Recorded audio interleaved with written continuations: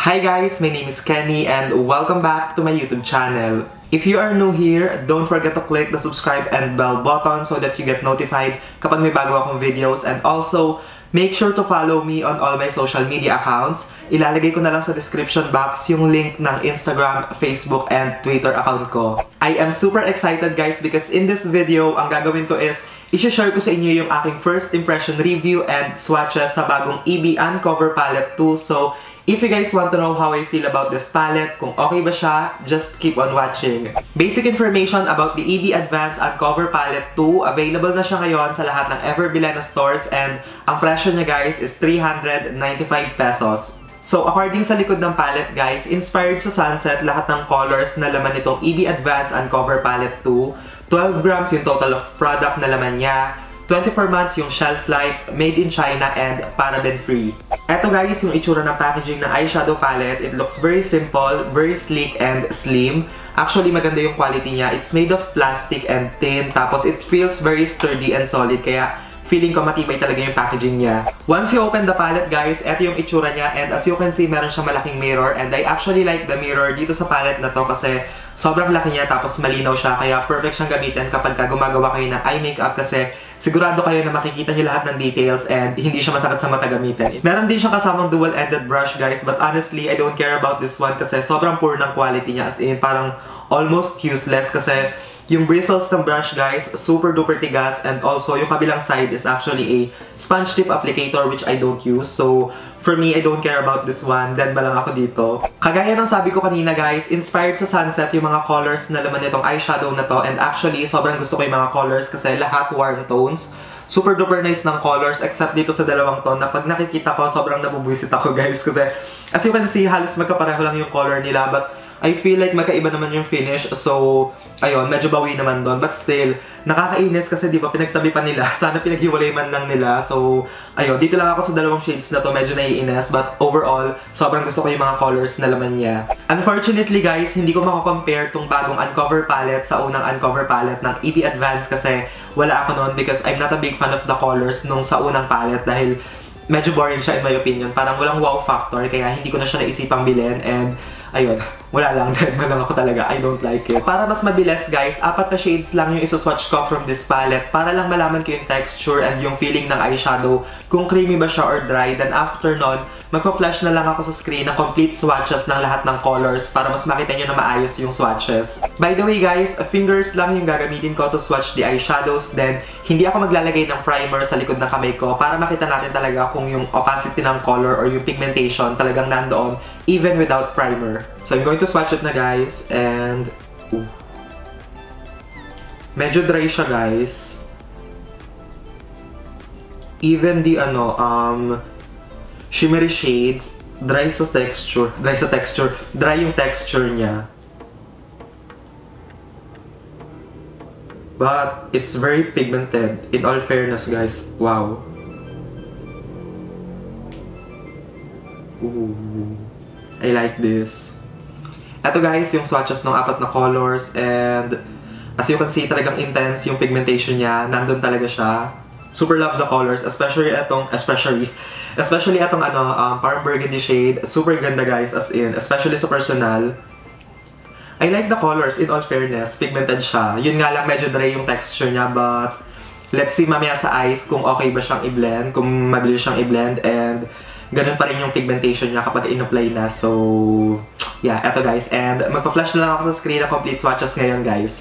By the way, guys, hindi ko na makalimutan. I'm going to swatch nga pala itong dalawang shades na tong magkatabi na halos magkapareho yung colors. So, let's see kung pareho yung um, finish nila and yung texture. Hopefully magkaiba dahil kung hindi, talagang maiirita ako. Dahil, di ba, sobrang pareho lang ng colors nila. I'm going to swatch it na. And... Mm,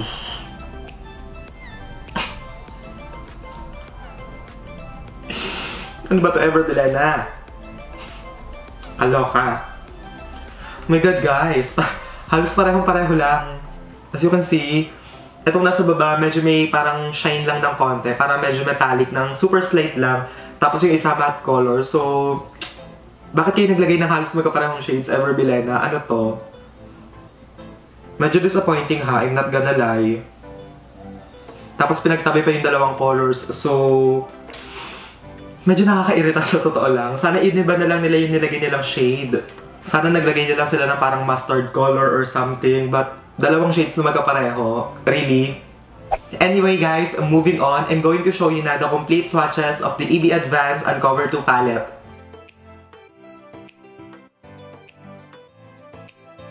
So ngayon guys, susubukan na natin kung okay ba tong eyeshadow palette na to kapag ginamit sa eyes. And nakapag-prime na ako ng lid using my um, Maybelline Fit Me Concealer. So ngayon, ang gagawin ko is, isasat ko lang siya gamit yung matte um, parang ivory or cream shade dito sa palette. And, ooh, medyo powdery siya guys.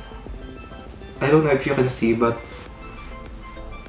ayan, powdery siya. So, i-apply ko lang siya all over my lid guys. And yung brush nga pala na gamit ko is yung NYX number 17 brush. It's very powdery guys, pero finely milled siya in all fairness.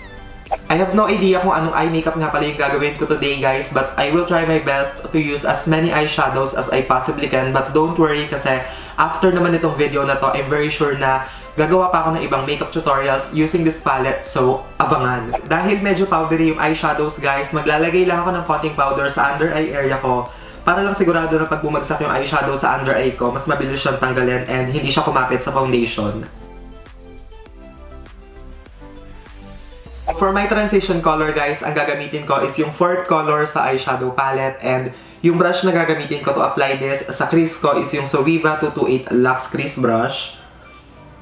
Medyo powdery din yung eyeshadow na to guys. So, be very careful din para hindi siya maging messy kapag in-apply nyo. Kagaya nung una guys, powdery siya. Nakakaloka. Sayang yung product ha. But yeah, so ngayon guys, i-apply ko na siya sa crease ko.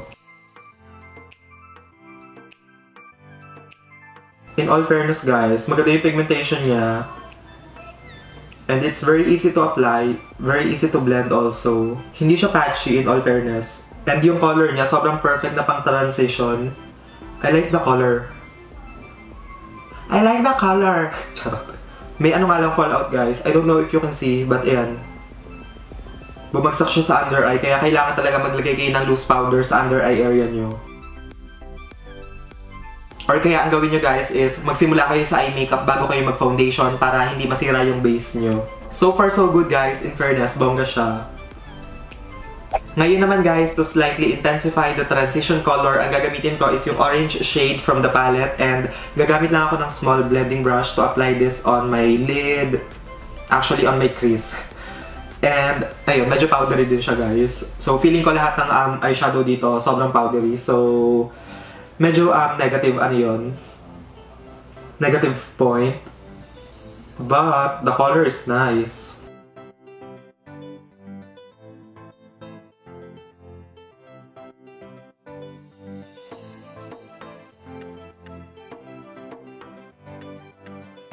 in all fairness guys, magandang i-blend yung eyeshadows and hindi siya patchy kasi sobrang pantay ng color niya. In all fairness guys, bilangan nyo ko ilang beses kung sasabihin yung in all fairness ha. Charot.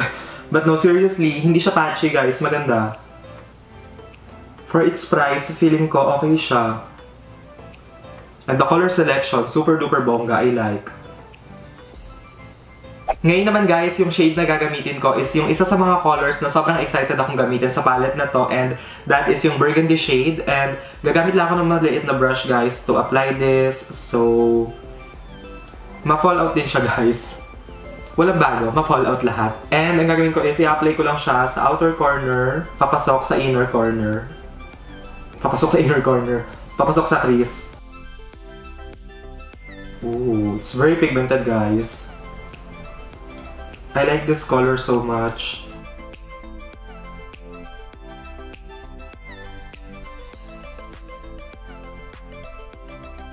Medyo mahirap lang siyang i-blend. I don't know why, pero parang kapag ka nilagay mo na siya sa isang area, parang hindi siya ganun kabilis i-spread or something. Or something. Ano yung or something na yon? No. Medyo ano siya, ayun, parang nagsistick na siya kung saan mo siyang area nilagay, kaya Baka medyo mahirapan kayo i-blend siya guys, but kung matyaga naman kayo mag-blend, hindi siya big deal. Like with me, okay lang naman. But as you can see guys, super duper intense ng color niya. Maganda siya. I love it. So far, so good, guys.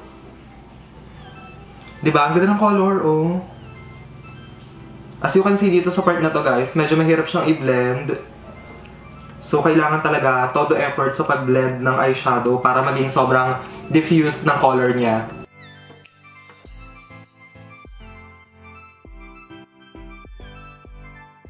As you can see guys, sa under eye area ko ngayon, oh, medyo palala na ng palala yung uh, fallout. Kaya, thank God, naglagay ako ng powder. Kasi kung hindi, panigurado masisira yung foundation na nakalagay. Since walang black na color dito sa eyeshadow palette na to, ang gagamitin ko to darken the outer corner is itong um, chocolate shade sa dulo. And gagamit lang ako ng super small na blending brush to apply this. And, ooh. In fairness guys, hindi siya ganun ka-fallout kagaya nung hindi ganun ka-fallout. Hindi ganun ka-powdery kagaya ng mga naunang shades na ginamit natin. I was expecting na powdery siya, but hindi. Bongga, in fairness. So ayun, i-apply ko na siya sa outer corner and let's see kung okay siyang i-apply.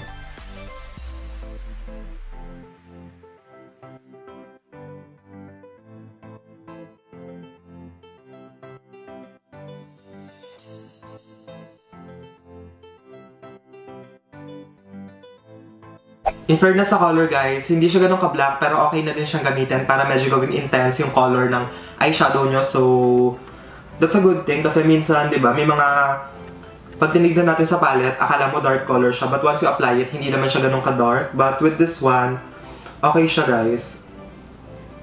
Hindi siya super dark, but dark enough para gawing smoky yung makeup nyo.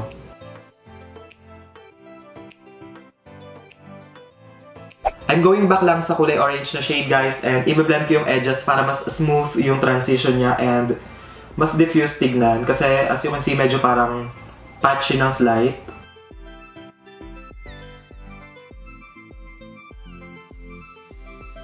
So, naisipan ko guys na instead na mag-smoky eye ako, magka-cut crease na lang ako and ngayon ang gagawin ko is maglalagay lang ako ng concealer sa crease ko or sa lid and yung gamit ko is yung Maybelline Fit Me Concealer in the shade Sand. And ngayon, i-apply ko lang siya sa lid and ikakat ko na yung crease.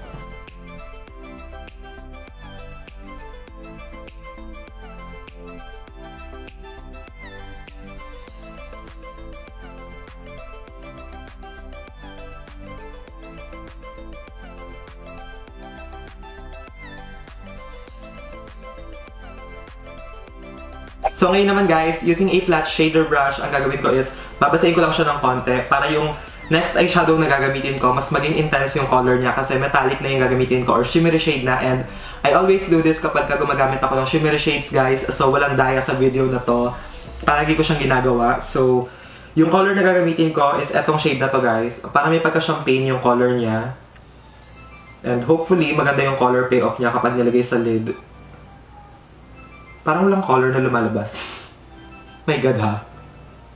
Or masyadong wet yung brush ko. Let's see, wait.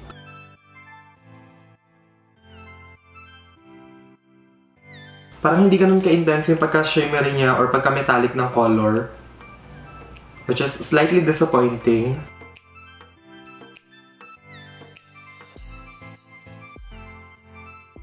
Since medyo light yung color nito guys, what I'm gonna do is hahaluan ko siya ng konting gold and ito yung shade na gagamitin ko. Tapos dry na brush lang yung gagamitin ko. Flat shader brush lang din siya. So let's see kung may difference siyang maibibigay. Ooh. This is better. Mas gusto ko yung color nito.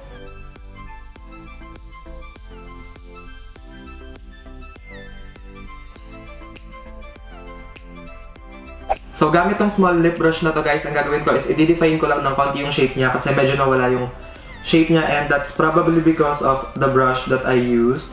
But that's okay kasi mabilis naman siyang ayusin.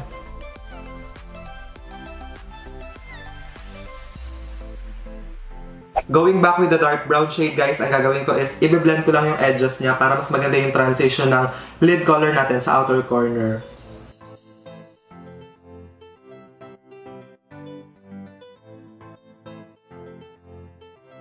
To save time guys, off camera ko na lang gagawin yung left eye ko. Maglalagay ako ng mascara and false eyelashes. Then after nun, tatapusin na natin yung eye makeup. Hi guys, I'm back. So now, ang gagawin ko is ibibake ko lang yung gilid ng um, eye makeup na ginawa natin using a translucent powder para lang maging sharp and malinis siya mamaya pagka natapos na tayo. So, ayan, i-apply ko lang siya like that.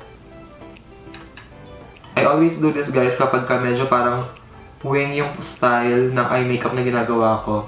Para mas precise yung shape niya, naglalagay lang ako ng um, loose powder sa outer corner. Ngayon naman guys, tatanggalin ko lang yung um, powder na nilagay natin sa under eye area kanina. And as you can see, lahat ng fallout natanggal ka agad kasi nga may nakasalong powder. Pero kung hindi tayo naglagay ng powder guys, nako, asahan nyo na may hirapan tayong magtanggal ng fallouts.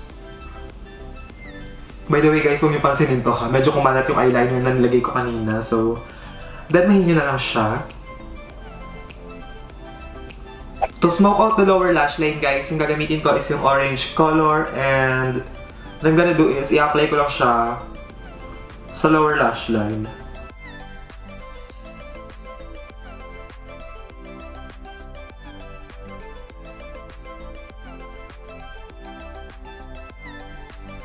Yung next shade naman na ilalagay ko sa lower lash line guys is yung maroon shade and gagamit lang ako ng pencil brush to apply this and I will try my best na i-apply siya as close as possible sa lash line.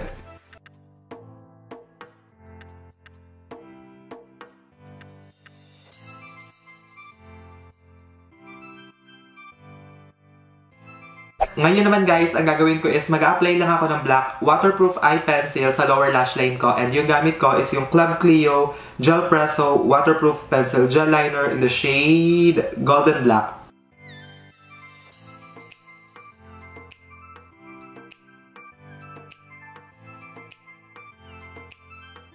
So to further smoke out the lower lash line and para medyo i-blend yung black eyeliner na nilagay ko, ang gagamitin ko is yung dark brown shade sa palette and gagamit lang ako ng pencil brush.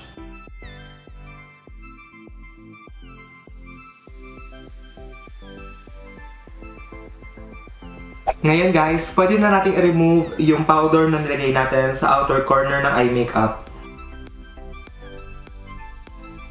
Para i-highlight yung inner corner ng eyes ko and also yung brow bone area, ang gagamitin ko guys is itong champagne shade and gagamit lang ako ng small shading brush to apply this.